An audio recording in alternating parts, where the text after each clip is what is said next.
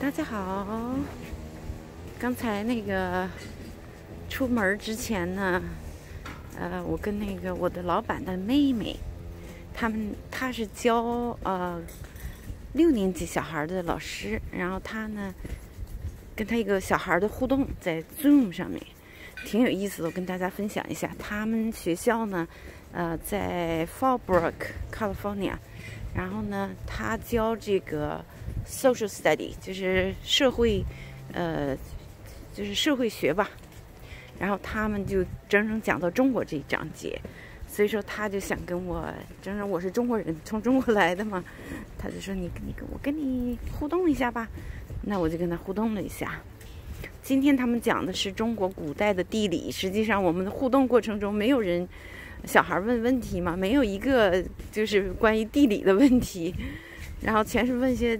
其他的东西他们学在课本上讲的，其中有一个呢讲的非常有意思，问我一个问题啊，他说那故事里讲的是说中国这些孩子啊，呃，这个家里就是家长啊，就是学习再好，家长呢也不去表扬他，然后还说你，呃，你并不聪明，你要努力，你要努力这样的这样的词语。然后他就问我：“这是真的吗？”这些小孩问我，我说：“是啊，这是在过去的时候是这样的，就是，呃，我们呢，呃，在这个我们这个文化呢是受很重受这个呃孔子的文化，实际上就是要 modest humble，呃，就是就是我们要谦虚谨慎吧。”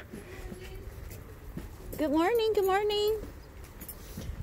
啊，所以说，我说的我们家长呢，就是都是这样的，过去吧，都是这样的，就是你学习再好啊，你再你再好的学生，家长不会说的。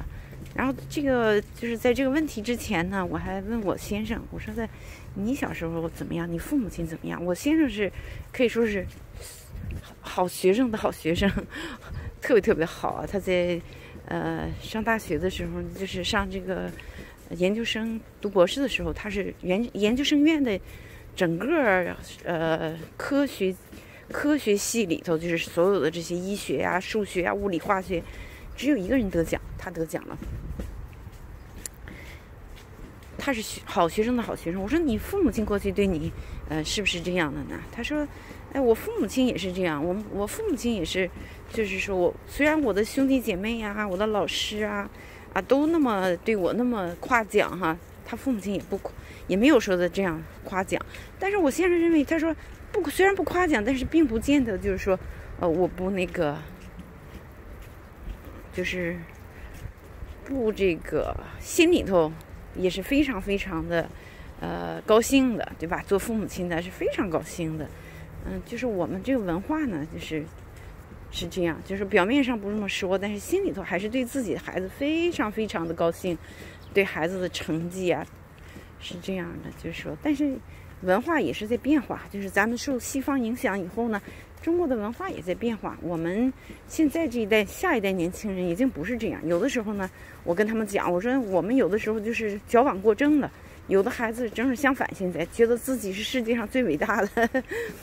所以说的，然后他们就问我，他说你，呃，我说的就是因为这个西方的文化嘛，也在，呃，在在进入到中国，所以说文化在变化。那么他们问我，他说，那你是不是对西方文化？呃，就是觉得是西方文化造成的呢？愿不愿意这个西方文化给你们造成？我说也不是，呃，每个人实际上是不一样的。虽然在同样的文化熏陶下，每个人的行为是自己，并不是说光是这个文化，文化有一定的影响。但是，呃，你要是说这个都是这个文化造成的，这是不对的。每个人都不一样，每个人要对自己的行为负责任。所以说的，他这问题问挺好。然后还有一个问题，他问我就说，他说。嗯，中国人吃不吃生菜呀？是不是都吃煮的菜呀？他们课本上讲的说这个，说这个中国人都吃的都是煮熟的菜。所以说的，我说不是的，中国是一个大的国家，啊，五十六个民族，各种各样人都有，嗯，吃的什么样都有。所以说，每个人吃的也不一样。所以说呢。这个跟他们小孩互动的蛮好的。然后他就我还跟他讲说，我说这个他们下一课呢，接着再讲就是，呃，再讲就是说要讲孔子和孔子和这个老子。然后呢，他们还我再跟他们一起分享，跟他们一起互动。然后呢，我再给大家分享。好啦，再见，拜拜。